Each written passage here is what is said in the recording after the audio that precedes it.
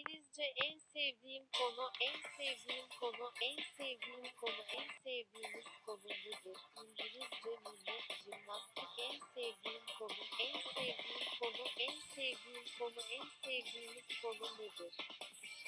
Jimnastik yine haftada bir sanat ve müzik haftada iki kez tarih ve Almanca haftada üç kez matematik İngilizce ama Birimiz oyuncu yer tutucusu bir zamanlar iki defa üç kere dört kere beş kere altı kez ve haftada yedi kez çok fazla ödev matematik onun en sevdiği konu en sevdiği konu.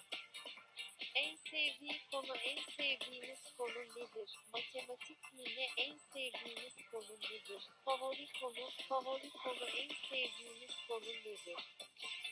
Bana bir şey söyle haftada bir sanat ve müzik haftada iki kez tarih ve Almanca haftada üç kez matematik İngilizce ama bir zamanlar iki defa üç kere dört kere beş kere altı kez ve